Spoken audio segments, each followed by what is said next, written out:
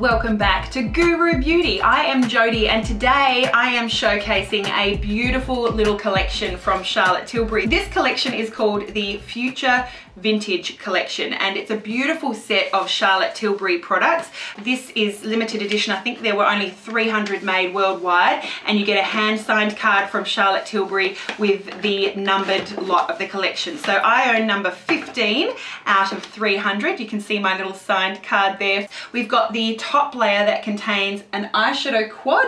This is the Luxury Palette Vintage Vamp. And then we also have three lip products. We have a lip pencil lip cheat we also have a kissing fallen from the lipstick tree lipstick in penelope pink and also a lip luster lip gloss in Bardot beige. And then this top layer of the box actually flips out to reveal a second layer. And that second layer contains here the cult product the filmstar bronze and glow duo. I've taken it out. There's just the box that remains. A nice little deluxe size of the charlotte's magic cream. It's an spf 15 moisturizer that she concocted herself just to prep all of her clients skin underneath the makeup. Also including this little limited edition bar of gold I think is what it's called. This is a highlighting product as well. So I am using all of those products today contained in the future vintage collection here from Charlotte Tilbury. Now this collection may not be any longer available and I'm not sure if they'll be making any more because it is a limited edition collection but this is a great chance I thought. If you do get this collection for Christmas perhaps or if you've recently purchased it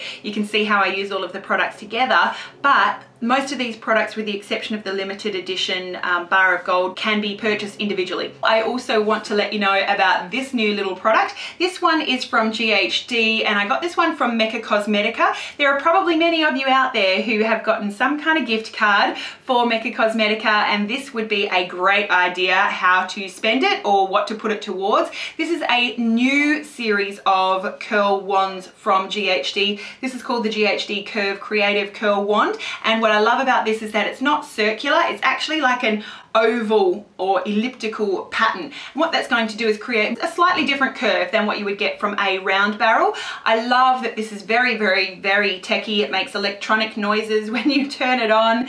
It also will turn itself off if it's left unused for a certain amount of time. It heats up very, very fast. It's ready to go and it beeps to let you know in about 10 seconds flat. It's got tri-zone technology, which is an even heat, which means that you're going to have less, you know, really hot spots that are going to burn and damage your hair and uh, it's got a nice cool tip that you can certainly hold and use while you're curling your hair. I just love this product. I love GHD and um, I'll show you how I use this and some of my favorite hair products as well just to create these loose waves. I've brushed them out. So if you want to see how I used all of these Charlotte Tilbury products to get this look today, keep on watching. Alright, so I have just applied Charlotte's Magic Cream. This one she says treats and transforms. It's an SPF 15 moisturizer and you can see the texture of it in the pot. It's a sort of thicker cream, very similar to night creams. I have applied that and really rubbed that into my face. You can see that I do have a shiny appearance after applying that. It doesn't have a feel like a lot of other day moisturizers that I use that are liquid or gel or very light and sink in immediately. No, this one definitely seems like it's sort of rich and hydrating. Again,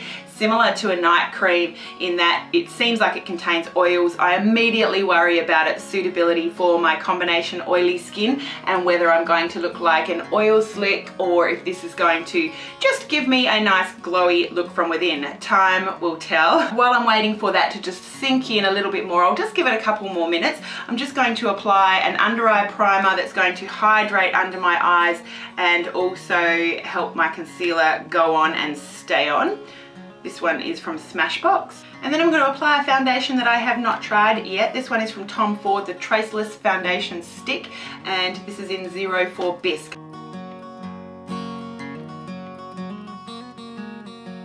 Next up, before we get into the eyeshadow, we're going to apply some eyeshadow primer today. This is from Too Faced, their Shadow Insurance. This is one of my favorite all-time eyeshadow primers. Just Really nice formulation, spreads very easily. Before I go into the Vintage Vamp eyeshadow palette that came with that collection, you'll notice that there isn't a sort of matte highlight shade or a nice easy transition shade in that quad. So I am actually going to go into the highlight and contouring palette that's included in this collection. This is the Filmstar Bronze and Glow. I'm going to use a loose fluffy brush and just dip it into the highlighter and just apply that all over the eye. This is just going to give a little bit of a base on which to blend everything afterwards. Then with that same fluffy brush, I'm going to go into the contour side. I'm just going to pop that in my crease area. Next up, I'm going to apply this beautiful shade from the palette, just using a flat eyeshadow brush on the inner two-thirds of my lid. And you can see that colour just intensifies the more you layer it on. I'm going to use the same brush, just flipping it over and going into that slightly darker plum shade. I'm going to apply that to the outer third of my eyelid.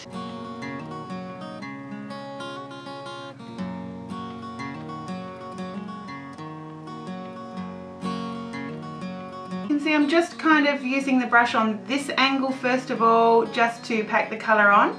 Then I turn the brush 90 degrees and just pushing it just above my crease. Now I'm actually going to go back into that loose fluffy brush that I applied my Filmstar Bronze and Glow with and I'm just going to blend out very very gently just that outer edge. Now I'm just using a more precise pencil brush, spraying it down. I'm actually using the Urban Decay All Nighter Makeup Setting Spray. I'm just going to go back into that darker shade and just give that outer corner just that extra oomph with the wet shadow. You can see it's just a little bit darker, it's just adding a little bit more definition to that outer corner. And that is where I'm going to bring it down now to my lower lash line. Just blending it into the outer half of my lower lash line.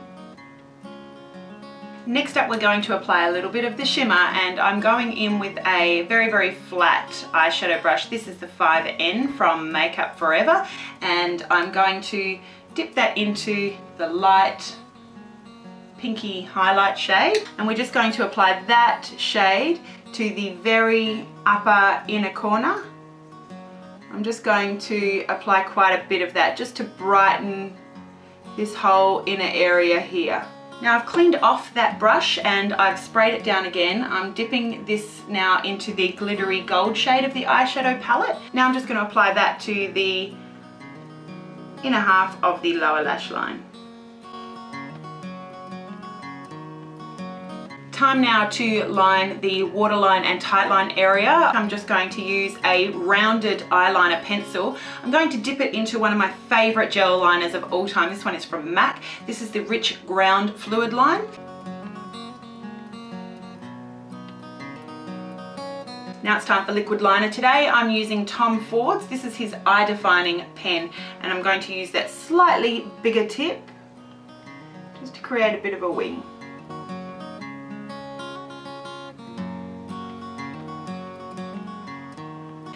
Just going to use an angled liner brush just to apply a dark eyeshadow shade. I'm just using the darkest shade called Undone from Urban Decay's new Naked Basics 2 palette. Any dark shadow will do.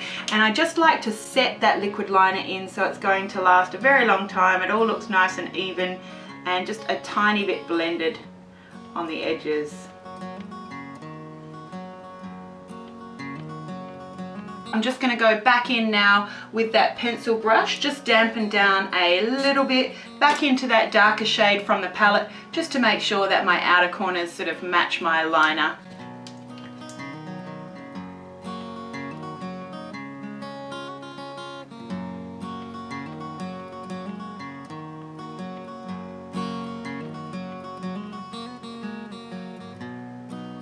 Now it's time for mascara, just applying some of the Maxi Lash Volume Creating Curl Sculpting Mascara from Galan. I just have a little mini here that I need to use up. I'm now just going to apply some By Terry Touche Expert Advanced. I have the shade number two. Just going to help brighten up the area now that I've applied my shadows. I'm just going to blend that in now with a brush I love this product. It smells gorgeous like all by Terry products and uh, it's just a lovely brightening product without adding any cakiness. I think you can just sort of reapply and reapply this all day long and it's just going to look lovely. I am going to apply some lashes today for this dramatic look. I'm using a brand called K Luxe Lashes. This is the style Kassy, K-A-S-S-Y. I'll include a link down below. This is what they look like.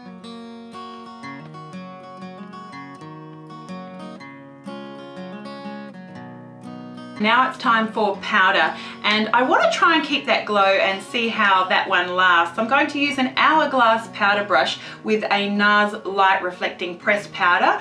This is not the best setting powder if you want coverage. It's not the best setting powder if you want, you know, the best oil control all day, but it's a great powder that's lightweight that's going to help you keep your glow without caking up a glowy, dewy foundation, if that makes sense. I love this also as a finishing powder. If you are using a more heavy coverage, more matte foundation, set it with a normal powder and then just apply this as the finishing powder. It's a beautiful powder. It photographs just tremendously. Now it's time for this, the Film Star Bronze and Glow. Just going to use a NARS brush. This is one of the new Mie Kabuki brushes from NARS, tapered on the end, but very loose and fluffy, so it's not going to be too severe a contour. I'm just gonna tap that into the bronze side of this duo, concentrating on the very outer edge of my under cheekbone area just blend that.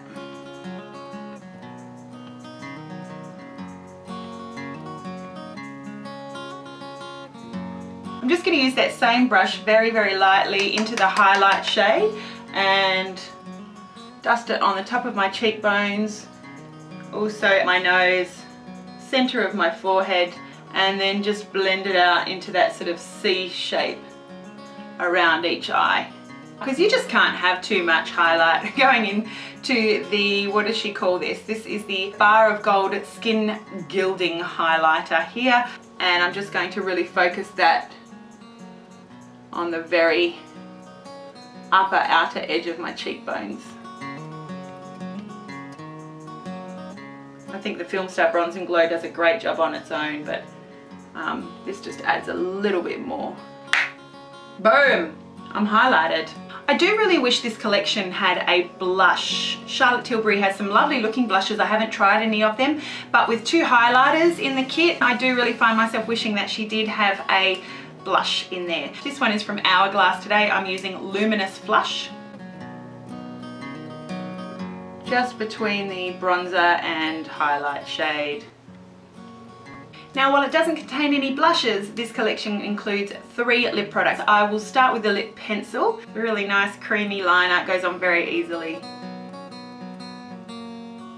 Next up the lipstick. This one is in the shade Penelope Pink. Beautiful rose gold packaging here. And then finally the lip gloss that's included in the kit. Again, that beautiful rose gold packaging here. This one is in the shade Bardot beige. Just going to apply that to the center of the lower and upper lip. Now I'm just going to finish off my hair here before I give you the finished look. First I am applying the Batiste Dry Shampoo just to soak up any excess oil and then I'm just going to section off my hair just taking the upper half up in a clip And then I'm going to use Holy Grail product for me, section by section, the Paul Mitchell Hot Off the Press Thermal Protection Hairspray with my new GHD Curve Creative Curling Wand. It's also got a lovely non-slip barrel and it heats up literally in 10 seconds and it makes super duper electronic noises.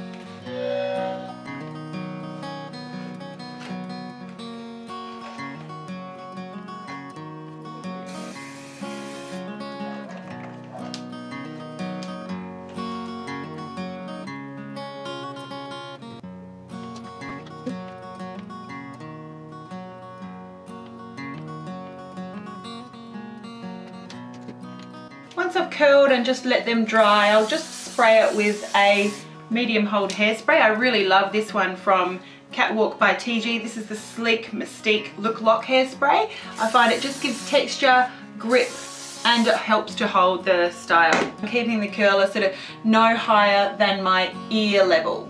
And I guess the other thing to note is that I'm keeping the wand horizontal. When I get to my fringy bang type area, I'm actually gonna brush that up horizontally still but relatively close to my scalp here and that's just going to create that sort of flip shape around my face. As that cools and I'll spray it you'll see it just sort of helps to create that shape. So I have let it cool, I applied more hairspray and then I've very very gently brushed it out with my Scunci Tangle Teezer equivalent I guess it is and then I've applied the very very lightest amount of this little product. I love this. This is the Shu Uemura Touch of Gloss. I just applied a tiny tiny little bead, blended it through my fingers and that's just softened everything up and you can see we've just got this lovely sort of vintage wave. I love that look and uh, I love this iron from GHD it's fantastic. So this is the finished look. I hope that you enjoyed seeing those Charlotte Tilbury products. They are certainly beautiful